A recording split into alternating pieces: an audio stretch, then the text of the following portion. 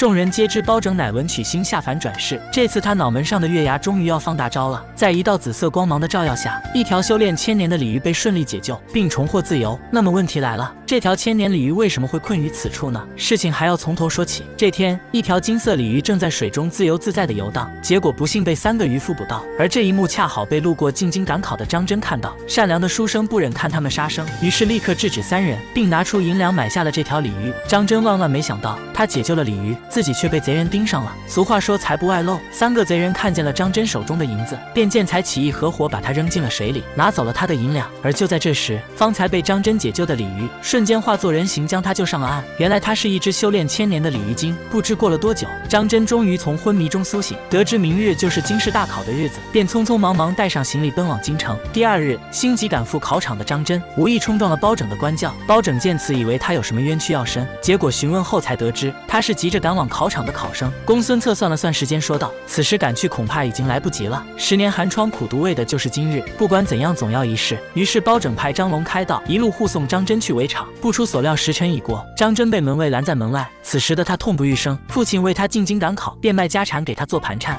结果不但没有参加上考试，银子还被贼人抢了。张真想起出发前父母的教诲，更是悲痛万分。而另一边，开封府今夜发生了一桩怪事，伴着打更小哥的声音，突然狂风大作。此时身着奇装异服的明和姥姥闪亮登场，打更小哥被吓得连连后退，结果还是被姥姥一招致死。走进端详，这不是我为人正直的八王爷吗？几天不见，怎么变成了黑山老妖？为了更加贴切，咱们以后就叫他八姥姥吧。八姥姥携带他的徒弟闯到开封府，两妖目的非常明确，就进开封府。那包黑子就住里面了。嘿嘿嘿嘿嘿，那今晚就可以吸吸他的精血了。八姥姥两手一挥，开封府门口立刻显现两个纸人。姥姥手指再一指，两个纸人立马扭着霹雳舞前进击鼓。王朝马汉闻声出来查看，随后命衙役将两个纸人抬进府内。不料此行为正中了八姥姥的圈套，纸人一入，暴政必死。包拯一行人出来查看，公孙策见此，向包拯提议：这纸人乃丧事之物，不宜在府中久留，建议立马放火焚烧。包拯听后，立刻命张龙赵虎把纸人抬到后院焚化。不料就在这时，纸人一把推开张龙赵虎，原来是八姥姥在外面施法控制纸人，一步步向包拯靠近。你们是何人？我是来为您送终的。王朝马汉张龙赵虎上前一顿操作，结果被纸人双双打回，最后还是展昭出手将其击退。这时公孙策也看出了纸人背后的玄机，纸人会动，必须有人暗中施法。最终包青天团队究竟会如何制服两个纸人，拆穿八姥姥的诡计？敬请期待下集。你们是何人？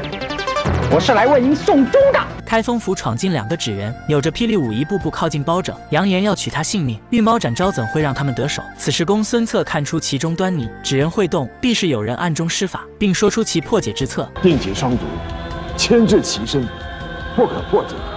公孙策不愧是智多星，包拯听后立刻命令王朝马汉张龙赵虎定其双足。此方法果然奏效。八姥姥见此，小嘴一撇，双手一挥，立刻将两个纸人焚烧。二郎感叹遇到包黑子，这下咱们可在了。不料八姥姥说出了人生真谛：想当魔头，就是脸皮要厚，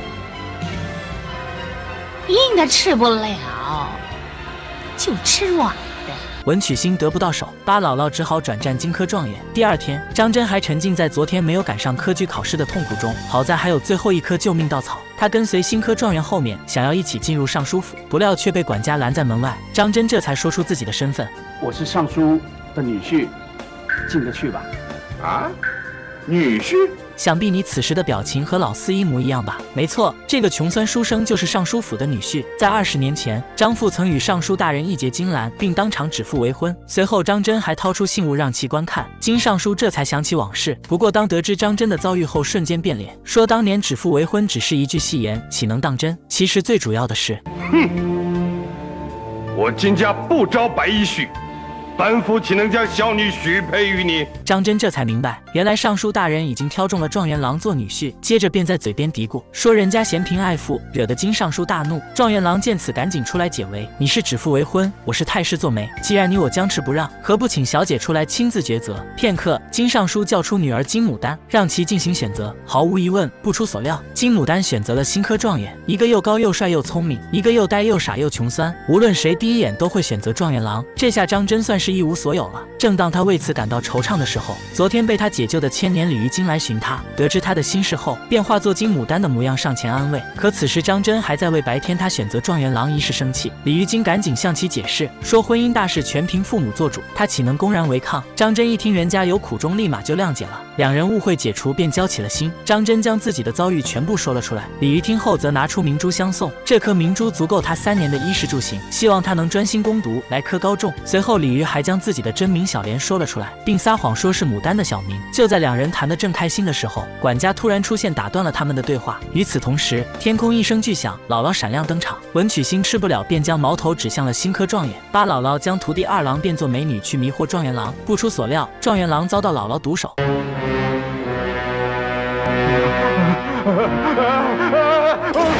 包大人，你敢打我？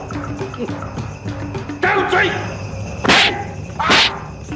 包拯正在审理谋杀新科状元一案，怎料一个小小的管家竟敢在公堂上耀武扬威。咱们的包青天可不惯着他那臭毛病，立刻命张龙赵虎给他点教训，把堂上的嫌犯张真打得一脸懵。这究竟是怎么回事？上集说到，新科状元遭到巴姥姥毒手后，又被悬挂在空中。好巧不巧，这一幕被张真目睹，他被吓得立马大叫了起来，并想将此事通知金尚书。幸好被小莲及时阻拦制止。他害怕张真会成为本案的替罪羊，于是让他赶紧回房。不想就在这时，管家突然巡视到这里。同时也发现了状元的尸首，而另一边，张真在回房的途中遇上了真的金牡丹，他想都没想就上前搭讪，结果牡丹被他这一行为吓得连连后退，还将他误认成了意图不轨的登徒子。张真十分不解，为何金牡丹一转眼的时间态度判若两人？刚才跟人家赏月的时候叫人家小甜甜，如今用完人家立马翻脸无情。此时牡丹心中也是一肚子冤屈，根本就不知道他在说些什么，于是叫来家丁将他抓起来交由父亲处理。而这时金尚书赶到了命案现场，新科状元无缘无故死在府内。上面要是怪罪下来，这罪责可不轻。就在金尚书急得挠头，不知该如何是好的时候，家丁押着张真来到此处。金尚书脑袋一歪，就知道事情不简单了。画面一转，老四携带两个家丁押送张真来到开封府，并将一封书信交由包拯。包拯在看过之后，便让其回去回禀尚书，就说开封府已经接获报案与嫌犯，会立即审理。不料这个小小的管家狗仗人势，是何等的嚣张，竟敢教包大人断案。我家老爷信中已经写得很明白了，他不是什么嫌犯，他是杀人犯，不用审了，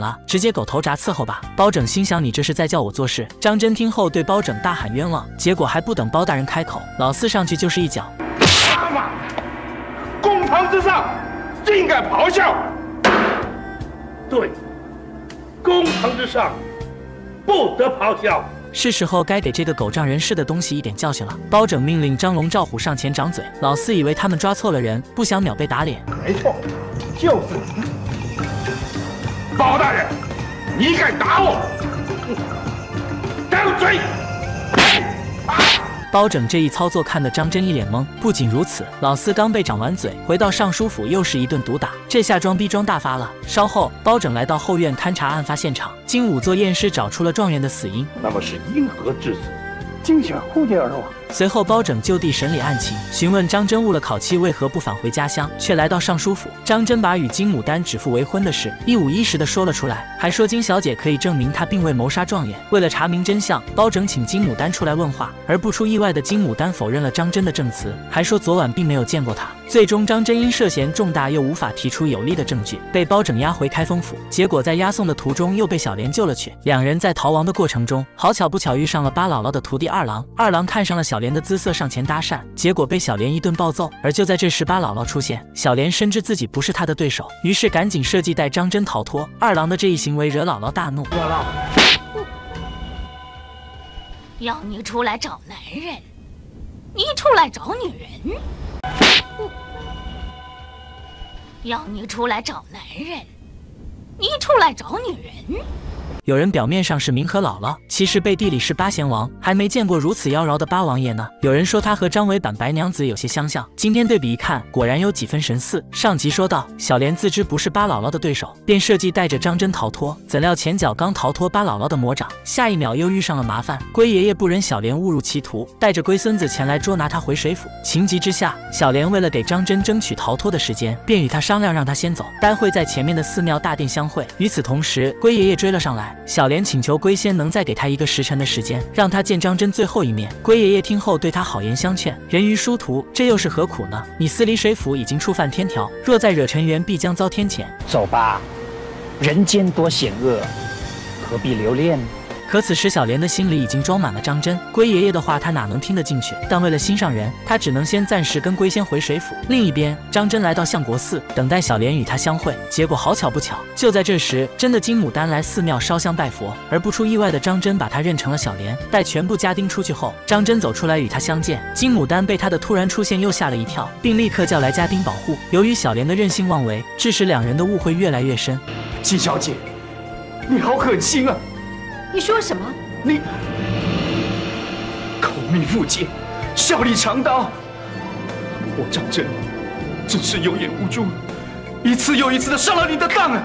金牡丹还以为是张真在为指腹为婚毁约，和他选择状元一事耿耿于怀，因此谅解了他的所作所为。如今他是官方要抓的要犯，稍后金牡丹派金管家亲自护送他到开封府，交由包大人秉公处理。牡丹的这一做法也算是妥当的了。可张真对此很不理解，认为他无情，前后态度不一，并将明珠拿出奉还与他。牡丹看着明珠也是一脸懵。画面一转，金管家并没有听从金牡丹命令把张真押送开封府，而是要把他带回尚书府。原来就在前不久，因状元被杀一。一案，皇上召见包拯与金尚书进宫询问详情。金尚书一口咬定状元是被张真所杀，案发当日已经将他移送开封府查办，不料却在包大人手中消失。庞太师因包拯铡他儿子一事怀恨在心，故而拿此事大做文章，与金尚书勾结，两人一唱一和给包拯挖坑，逼迫包拯当着皇上的面立下令状，七日之内将张真缉捕归案。而金管家就是为了坑包拯，所以要将张真藏于尚书府。这厮真是好了伤疤忘了疼，看来包拯那几巴掌还是打轻了。就在这时。他们迎面撞上了包拯的官轿，管家立马胁迫张真不要发出声响，而这一伎俩被聪明的展昭识破。我们都曾见过金小姐，她娇小玲珑能有多重？再看那四位轿夫抬得有多吃力，看起来这顶轿子似乎有两个人的重量。为了查明实情，展昭跟踪前往查看，果然不出所料，他亲眼看着张真被押往尚书府地牢，便立刻回去回禀包拯。片刻，包拯带着开封府小分队赶往尚书府救人，不料却吃了哑巴亏，惨被金尚书摆了一道。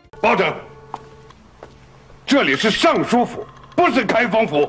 普天之下，莫非王土，都要讲究律法。包拯带人来尚书府救张真，金尚书却有意隐瞒，不肯交人，还说自己从未见过。两人一言不合就吵了起来。打嘴仗谁能赢得过包拯？金尚书输了口舌之争，索性关门回府。包拯没有见到人，岂会罢休？于是请出尚方宝剑，如愿以偿进入了尚书府的地牢。而此时张真已不在牢中，早被转移他处。金尚书则趁此机会拿这事大做文章，将包拯告到皇上面前。又在庞太师的搅和下，皇上决定暂时收回包拯的尚方宝剑作为惩惩戒。如今状元命案七日之限，只剩最后三日，中间又有小人作祟，包拯真是哑巴吃黄连，有苦也难言啊！好在他从中推测出。其实状元命案的关键不在张真，而在纸人。先前纸人行刺与他，已然有违常情，而状元又是死于精血枯竭，必定是江湖邪人所为。随后展昭则与王朝马汉张龙赵虎分头调查京城各纸扎铺工匠。展昭查案心切，没有认出乔装打扮的巴姥姥，故而误入早已设好陷阱的纸扎铺，中了姥姥的圈套。而另一边，小莲虽然身在水府，却心系张真，趁龟仙爷爷不备逃离出来，前往尚书府。结果就在这时，迎面撞上了真的金牡丹。情急之下，小莲迷。晕了他，赶往地牢。可此时张真已经不再相信于他，要想救他出去，除非让包大人亲自来此地接他。小莲为了救出张真，只能前往开封府一事。他以金牡丹的身份向包拯说出了实情，并透露此时张真就被关在尚书府的地牢。包拯已经吃亏一次，所以这次尤为谨慎。他要求小莲在前面带路，才能前往，这样即使被金尚书发现，也不会沦落个私闯尚书府的罪名。不料刚进大门，龟仙爷爷就赶到这里，并抓走了小莲。走到一半，公孙策发现不见小莲身影，便得知。大事不妙，结果还没来得及退回去，这时金牡丹从昏迷中醒来，紧接着金尚书带兵将他们包围，包拯赶紧向其解释，他并非私闯，而是应邀而来。今夜牡丹小姐亲往开封府击鼓，言明张真被囚在贵府的地牢之中，特邀本府前来。金牡丹听得一脸懵，随后说到自己今夜从未出府，这话是从何说起？包拯知道自己已经解释不清了，便对金尚书说他自会面圣请求处分。回到开封府后，经过包拯多年的办案经验，洞察秋毫，发现了金小姐前后的着。装不同，在带路之时，她穿的是黄色衣服，而花园之中却换成了白色。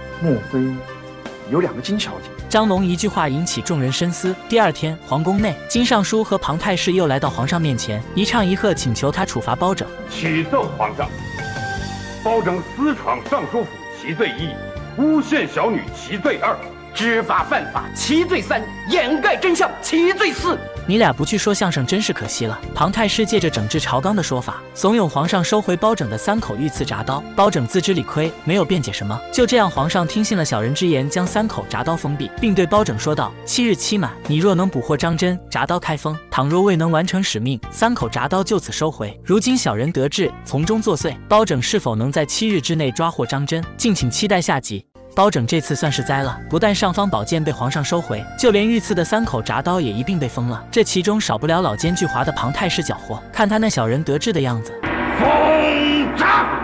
如今状元命案七日之限只剩两日，包拯又失去了两大神器，他究竟该如何破获此案呢？八姥姥的徒弟胡二郎因迷上了小莲的姿色，故而想把她抓回去做老婆，结果却错把金牡丹认成了她。八姥姥看后一眼就认出此乃尚书府的千金，并不是什么李玉金。瞬间一个大阴谋油然而生。她是尚书府的千金，我要有她，要夺取包拯的元神。有用处。金牡丹的失踪正好让小莲有了可乘之机。为了救出张真，她假扮金牡丹大病一场，然后龟爷爷扮演神医来给她治病。他对金尚书谎称牡丹的病因是遭了天谴，除非与曾经指腹为婚的对象成亲才能化解。金尚书一时间陷入两难，如果两人成亲，就必须释放张真，那么他与庞太师陷害包拯的大计也会就此失败。一边是升官的机会，一边是疼爱的女儿，金尚书该如何做选择呢？金大人，两天的时间很短很短的。你可以用两天的时间来整垮包大人，也可以用两天的时间来救你女儿。金尚书最后还是选择了女儿，去地牢释放张真，让他与金牡丹成亲。可张真已经不再相信任何人，想让他出去，除非让包大人亲自来向他说明。此举惹金尚书大怒。与此同时，纸扎铺内被巴姥姥施了魔咒，凡是在这里面的人都会经脉锁死，武功尽失。而此时展昭发现金牡丹竟然毫发无伤，问后才得知，原来她身上有颗明珠，此乃辟邪之物。金牡丹听后想要贡献出明珠让展昭恢复元气，而展昭却说他的伤势太重，要想全部恢复至少需要三。三天时间，可状元命案只剩最后一天，包大人若再找不到张真，就会乌纱不保。这时从金牡丹口中得知，张真有可能被关在尚书府的地牢。展昭听后请求他出去，能将此消息告诉包大人。见牡丹有些犹豫，展昭不惜跪地请求：金小姐，天下可以没有展昭，可是不能没有包大人。随后，他拿出自己的令牌，交由金牡丹，并说到：“包大人看到这个就会相信。”展昭用最后的力气掩护金牡丹逃脱。相国寺内，包拯一行人烧香拜佛，祈祷佛祖能保佑展昭逢凶化吉，平安归来。不料出寺门，他们就看到一个纸人：“展昭一命换包拯一命，好，一命换一命，公平。”包拯就展昭心切，想都没想就要前往，可这明显是妖人设的陷阱。公孙策和王朝马汉、张龙、赵虎跪地阻拦，并要上前铲除纸人，结果纸人不攻自焚。而另一边，金牡丹逃脱之后，终于赶到开封府，他将展昭的话毫无保留地告诉了包拯，还拿出展昭的令牌证明。众人一致认为七日之限即将届满，此时先去救张真比较重要。可包拯却另有打算，不，先救展昭。他认为张真被关在地牢一时半刻不会有事，而展昭落入妖人手中却随时会有生命危险。于是包青天团队赶往纸扎铺解救展昭，不费吹灰之力，他们很快就找到了展昭，并将其带回尚书府内。金尚书为了女儿，终于下定决心去开封府向包拯请罪。由此看来，他虽然不是个好官，却是一个疼爱女儿的好父亲。随后，包拯随金尚书一起前往尚书府，怎料就在这时，展昭手持长剑一剑刺中了教中的包拯。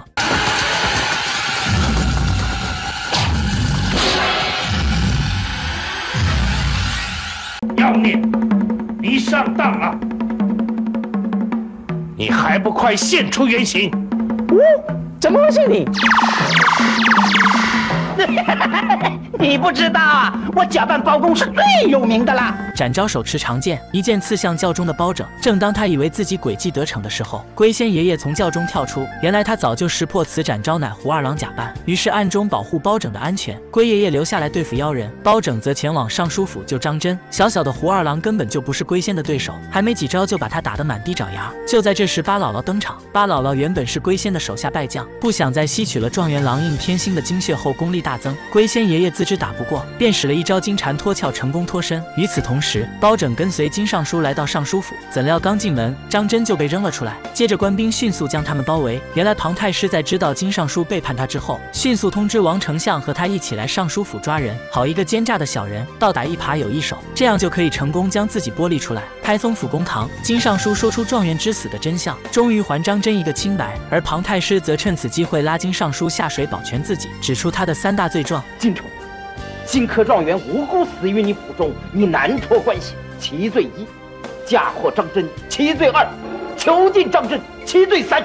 金尚书赶紧向其辩解，他之所以会囚禁张真、陷害包大人，皆是受太师所指使。虽然这是事实，但苦于没有真凭实据，被王丞相定为这是邪怨报复。反咬一口，几人僵持不下，来到皇宫请皇上定夺。皇上本想替包拯出一口气，命人将金尚书推出午门斩首，结果话还没有说完就被包拯打断。包拯请求皇上能念在他主动去开封府自首的份上，对他法外开恩。不料庞太师却不依不饶，在皇上面前疯咬金尚书，处处想置他于死地。而后皇上在在得知状元之死并非张真所为，其真凶乃江湖妖人的时候，想着怎么能抚慰一下一直被冤枉的张真。包拯听后立马做起了媒人，道出张真与金牡丹指腹为婚的事。他认为若皇上能撮合此一良缘，就是对张真最大的抚慰。包拯这以德报怨的做法真是令人钦佩。世人皆言包青铁面无情，今日观之，世人皆误会包青。最终，皇上成全了这对才子佳人。不过，为了惩戒金尚书，替包拯出气，当初给包拯七日之限，如今也给他七日。七日之内速去办妥张真与金牡丹之婚事，七日之后削职为民，永世不得为官。而另一边，小袁终于找到了展昭的藏身地。不过，展昭此时已身受重伤，陷入昏迷。为了将他送回开封府，小袁愣是拖着他走了数百里，可把孩子累坏了。展昭回到开封府后，身体内中的妖人之毒，就连公孙策都束手无策。大人。大人，再问你，活不过明天。包拯听后甚是惊讶，转身紧紧握着展昭的手，心疼的眼泪不由自主的往下流。你们二人，何人是真正的金牡丹？包大人，我是金牡丹，不，我才是真正的金牡丹。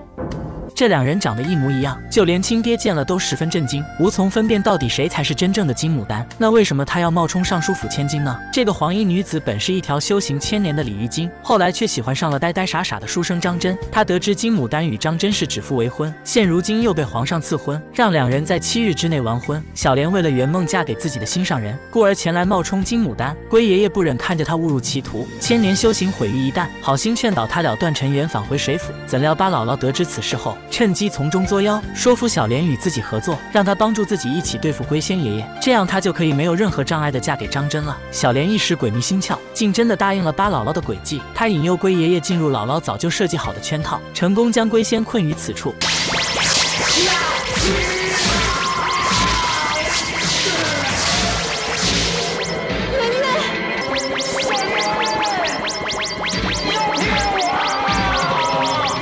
看到龟爷爷被困于此，小莲于心不忍，想要伸手帮助，结果被巴姥姥一忽悠，又失去了心智。她前往开封府与张真成亲，结果好巧不巧在大门口撞上了真的金牡丹。小莲索性将计就计，冒充公堂上两个金牡丹，各说各有理，就连金宠都无法分辨哪个才是自己的女儿。包大人，老夫惭愧，我无法分辨。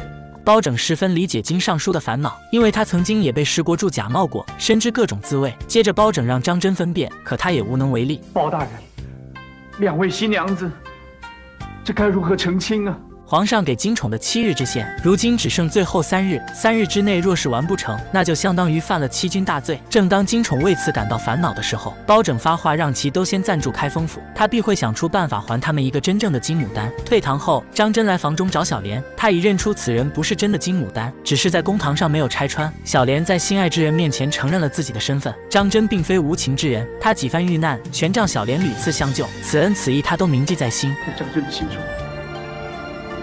唯有小莲才是挚爱，皇上赐婚张真与金牡丹，他如果选择小莲，那就是犯了欺君之罪，圣命难违。小莲不忍看着张真犯错，于是果断拒绝了他的爱意。与此同时，真的金牡丹来金宠房间，得知父亲被皇上罢官，三日之后便要返乡时，她表示自己要跟随父亲一起返乡照顾。可惜为时已晚，皇上赐婚，她若不嫁给张真，就是欺君。而另一边，包拯赵小莲前来问话，他已识破身着黄衣的便是贾牡丹。其一，你对张真有情，不惜三番两次与金宠作对；其二，你身着黄衣，而那真牡丹却不喜黄色；其三，真牡丹端庄有礼，假牡丹无邪纯真。事到如今，小莲只能承认自己是假冒牡丹。而就在这时，真的金牡丹突然出现，她为了能跟随父亲返乡，特来向包拯说明她才是假冒的。此时包拯一脸懵，心想你们两个到底要闹哪样？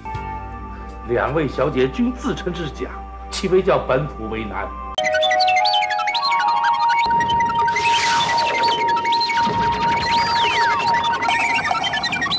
Thank you. 包拯月牙闪现紫色光芒，解救被困冰窟的千年鲤鱼精，这究竟是怎么回事？上集说到，金牡丹为了跟随父亲返乡，在包拯面前谎称她才是假冒的牡丹。包拯听后十分为难，不料这时马汉来报说金宠出事了。原来就在刚才，巴姥姥假扮衙役来给金宠送吃的，不想酒菜早已被他下了毒，金宠与展昭都是中了同样的毒。公孙策看后也莫可奈何。而此时小莲说出，牡丹身上的那颗明珠有辟邪解毒的功效，只要服下此珠，毒性立马解除。可惜。只能救一个人，一个是父亲大人，一个是救命恩人。牡丹一时陷入两难。这时金宠从昏迷中苏醒，他自知罪孽深重，因他的一念之差铸成大错，死不足惜，便让牡丹把明珠给展昭，并将女儿的婚事托付与包拯。说完便撒手人寰。金宠舍己救人，奇风可嘉，最后被皇上追封，以三公之礼厚葬。与此同时，小莲来跟张真告别，并说出了自己的真实身份，是他曾经救下的那条鲤鱼。张真深感震惊，不过在惊讶过后，也向其表示，不管他是什么，自己都不在乎。今生今世非小莲不娶。小莲深知人鱼殊途，张真如果和他在一起，不会有什么好结果，于是拒绝了他的爱意并离开。小莲找到金牡丹，向他说明实情，他今生的姻缘是注定要和张真在一起的。随后张真追到此处，为了撮合他与金牡丹的姻缘，小莲与牡丹衣服调换，而张真成功把牡丹认成了小莲，了断了自己的尘缘后，小莲还要赶去救被困的龟爷爷。展昭得知愿意前往相助，两人来到尚书府分头行动，一个留下降服胡二郎，一个赶去相救龟仙。自从展昭吞了小莲的明珠后，功力大增，胡二郎已不再是他的对手。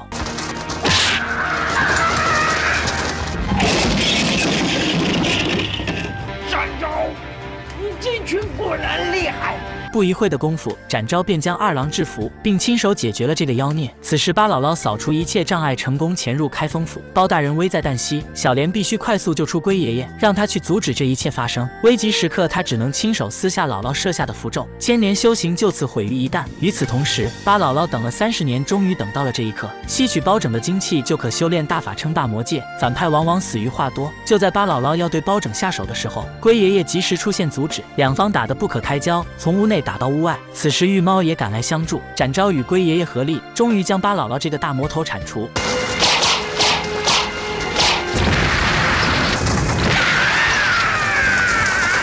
张真和金牡丹来到尚书府，见到了身受重伤的小莲。小莲拼着最后一口气撮合他俩的婚事，说完便化作一缕青烟飞走了。而后张真与金牡丹终于修成正果，在众人的见证下拜堂成亲。小莲则因触犯天条被困冰窟，小圆不愿看着与姐姐受苦，于是将这一消息告诉了张真与金牡丹，并说只有文曲星下凡的人才能破解此冰窟，而这个人就是包拯。张真与金牡丹听后赶紧来到开封府，祈求包拯解救小莲。包拯听后想都没想就答应相助，于是。是开封府一行人来到冰窟，可解救鲤鱼绝非易事。为了进入里面，包拯不惜用自己的元神与其对抗。开封府小分队看到包大人摔倒，公孙半仙立刻上线，组织王朝马汉、张龙、赵虎和展昭素白五行阵，破解冰窟大门，阻挡。